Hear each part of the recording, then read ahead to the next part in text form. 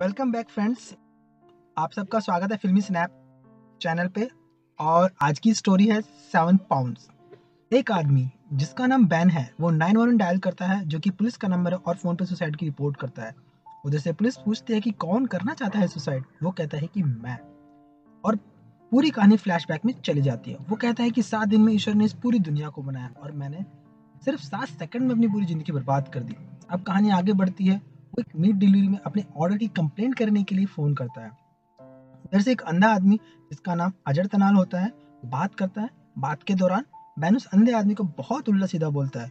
उसकी बहुत इंसल्ट करता है और सब सुनने के बाद वो अंधा आदमी बैन को धन्यवाद देता है और स्माइल करता है फ़ोन रख देता है। फ़ोन रखते ही बैन बहुत दुखी और परेशान हो जाता है। क्योंकि वो इस तरह का इंसान नहीं है। वो बस उस अंधे इंसान के मन को परखने के लिए सब कुछ बोल रहा होता है। क्योंकि वो जानना चाहता था कि वो अंधा इंसान दिल का कैसा है। अब ये कहानी आगे बढ़ती है और ये दिखाते हैं कि बैन एक आईआरएस ऑफिसर है। वो एक लड़की जिसका नाम एमली होता है, उसकी बैंक डिटेल्स को चेक करता है, जहाँ उसे पता चलता है कि एमली की फैमिली कंडीशन अच्छी नहीं है और उसे हार्ट की एक बहुत बड़ी बीमारी है, जिसका बस एक ही इलाज है और वो है हार्ट ट्रांसप्लांट मगर उसका ब्लड ग्रुप रेयर होने की वजह से उसे कोई डोनर नहीं मिल रहा होता। और दूसरी तरफ़ वो हॉस्पिटल के बिल्स को चुकाने में बहुत दिक्कतों का सामना कर रही होती है। इधर एमली का अकाउंट डिटेल्स लेने के बाद बैन उसके घर जाता है और वहाँ जाने के बाद उसके पड़ोसी से पता चलता है कि वो हॉस्पिटल गई है। फिर बैन उसके हॉस्पिटल का एड्रेस लेता है और वो हॉस्पिटल पहुँच जाता है। वहाँ एमली उसे लिफ्ट में मिलती है, मगर बैन कुछ नहीं बोलता। इसके बाद एमली एक वार्ड की तरफ़ जाती है और बैन भी उसके पीछे पीछे जाता है। और दरवाजे के पास खड़ा होकर वो एमली को देख रहा होता है और जहाँ अचानक एमली उसे देखती है तो बैन वहाँ से निकल जाता है।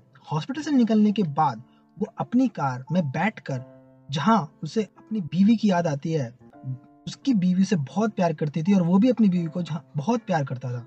पर अब वो उस दुनिया में नहीं है। इसके बाद वो एक केयर रूम में जाता है। केयर रूम उसे कहते हैं जहाँ पर बुढ़े लोगों का ख्याल रखा जाता है। वो काउंटर पर अपना परिचय बैन थॉमस आयरस डिपार्टमेंट का कार्ड दिखाकर करता है। अंदर एक आदमी से मिलता है, जिसका नाम स्टीवर्ड होता है। दरअसल स्टीवर्ड को बोन मैरो की ज़रूरत होती है और बैन ये देखना चाहता है कि वो सच में जरूरतमंद है कि नहीं। वो देखता है कि वो एक बुढ़ी औरत को दवा पिला रहा होता है और उसका बिहेव उस बुढ़ी औरत के साथ बिल्कुल भी अच्छा नहीं होता। और जहाँ वो स्टूवर्ड से मिलता है तो उसे नहीं पता होता कि बैन का इरादा उसकी मदद करने का है। वो उसे अपनी फाइनेंशियल प्रॉब्लम्स बताने लगता है। क्योंकि बैन उसकी नज़रों में एक आईएस ऑफिसर है। बैन कहता है कि बाहर तुम्हारी बी कार खड़ी है, जो कि बहुत महँगी कार है। इस बात को सुनते स्टीवर्ड के चेहरे से हवाइयाँ उड़ने लगती हैं। बैन उसके ऑफ़िस से निकल जाता है, क्योंकि वो समझ जाता है कि ये आदमी झूठ बोल रहा है।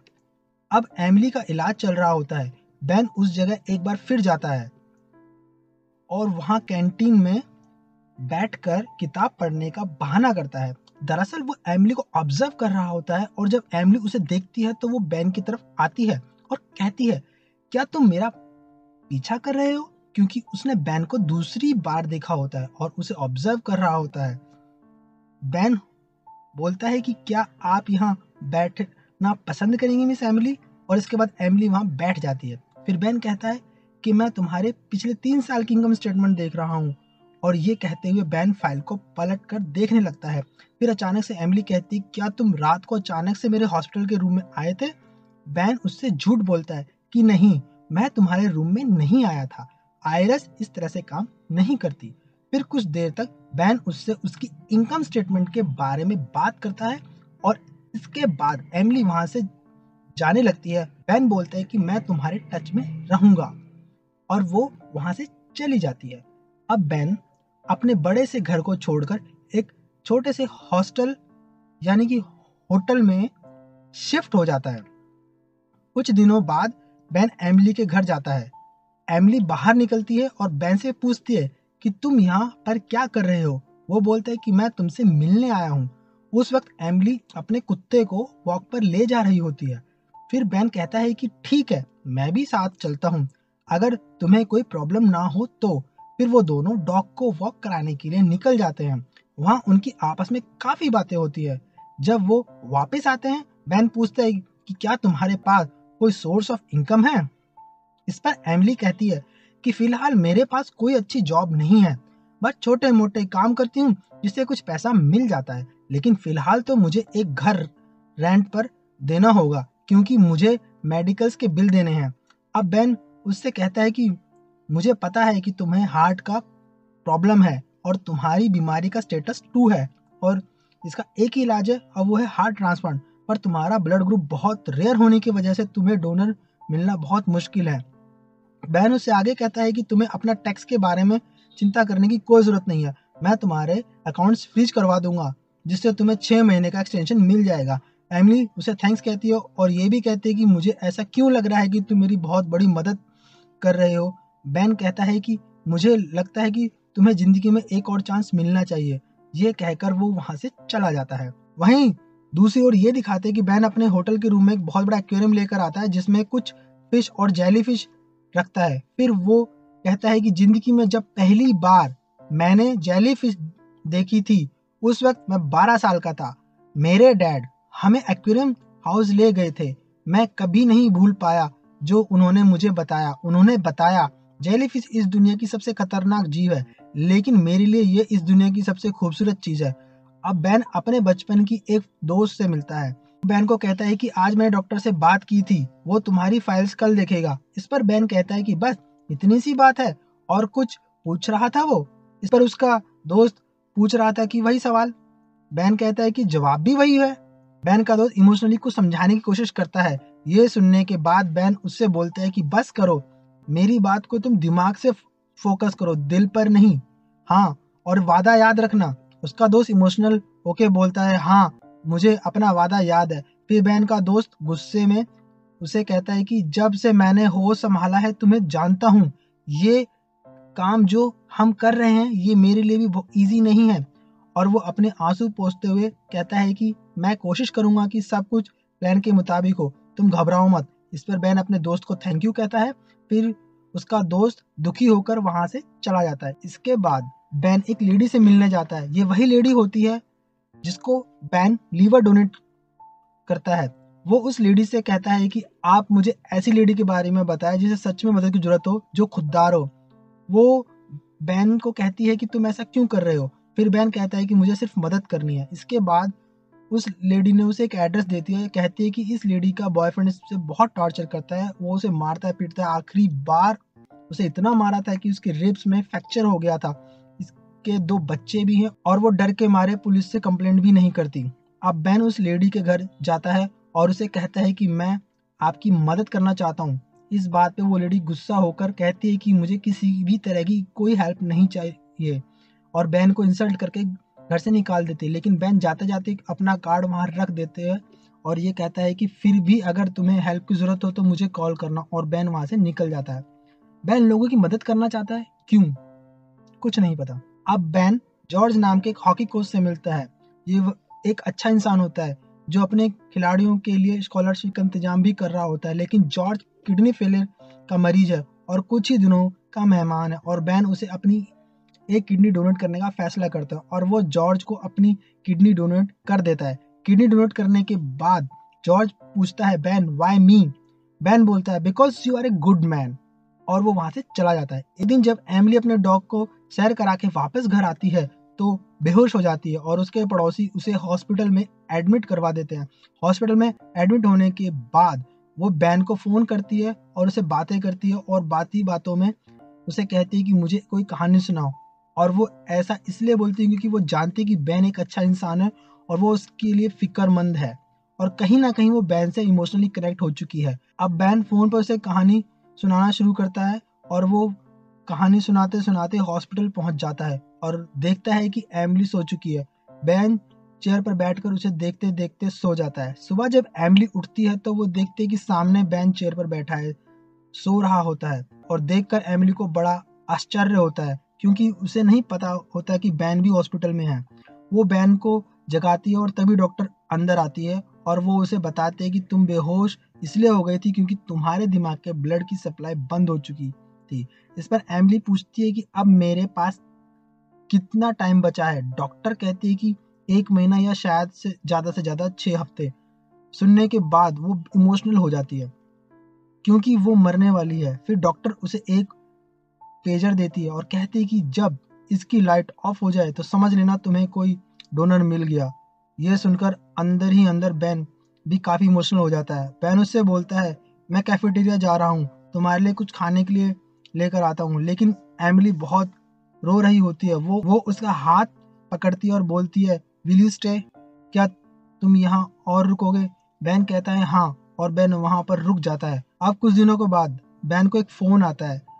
और बैन अपने होटल के रूम में होता है और एक कॉल उसी लेडी का होता है जिसका बॉयफ्रेंड उसे मारता है और जिसकी हेल्प करने के लिए वो उसके घर गया था। इसके बाद वो बैन से मिलने आती है और बैन उससे बोलता है कि तुम्हारे बच्चे बहुत मासूम हैं और वो एक अच्छी ज़िंदगी डिज़र्व करते हैं।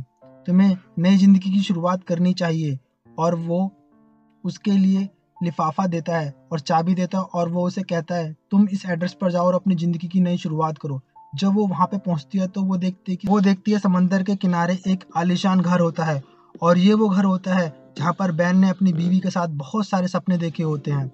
और आज बैन ने सारे सपने उस लेडी को दे दिए। वहीं दूसरी तरफ़ ये दिखाते हैं, अब एमिली हॉस्पिटल से डिस्चार्ज हो गई है और बैन उसे हॉस्पिटल लेने जाता है। एमिली बैन के बारे में जानना चाहती है, पर बैन इस बारे में कोई बात नहीं करना चाहता। इस बात से एमिली नाराज़ हो जाती है। अब अगले दिन बैन उसके घर जाता है। और वो एक बहुत खूबसूरत जगह वॉक करने जाते हैं। हालाँकि एमिली बैन के बारे में कुछ भी नहीं जानती, लेकिन कहीं ना कहीं वो उसे पसंद करने लगी थी। अब बैन एमिली एक जगह बैठ जाते हैं। एमिली बैन को बोलती है कि मैं वो सब करना चाहती हूँ जो मेरा मन है। मैं दोबारा जीना चाहती हूँ और हर चीज़ को महसूस करना चाहती हूँ। मैं पूरी दुनिया घूमना चाहती हूँ और सच और सच तो ये है कि एमिली मरने वाली है। बैन उसकी बात को ध्यान से सुनता है और उसके बालों को ठीक करने लगता है और यहाँ और यहाँ पे ये पता चलता है कि दोनों एक दूसरे के कनेक्ट हो चुके हैं। बैन जैसे खामोशी से उसे ये कह रहा हो कि सब ठीक कर दूँगा। अब बैन इसके बाद एक हॉस्पिटल जाता है, जहाँ एक बच्चे के बोन मैरो की ज़रूरत होती है।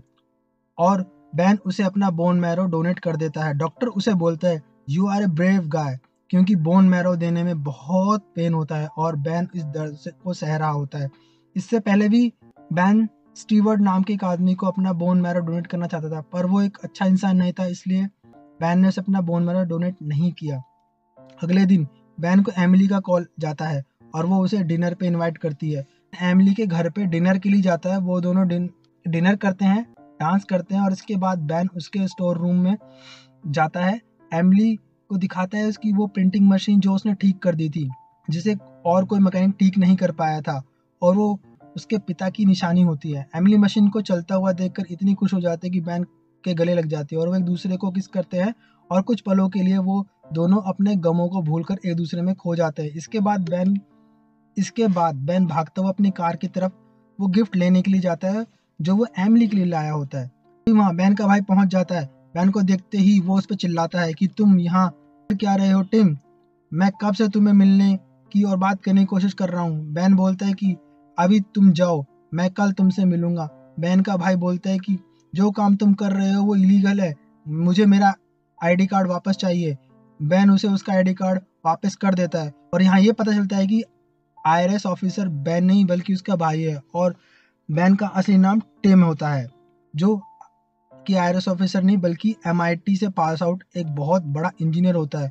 वो नकली आईआरएस ऑफिसर इसलिए बनता है ताकि वो जिन लोगों की मदद करना चाहता है, उसके बारे में अपनी इन्फॉर्मेशन कलेक्ट कर सके।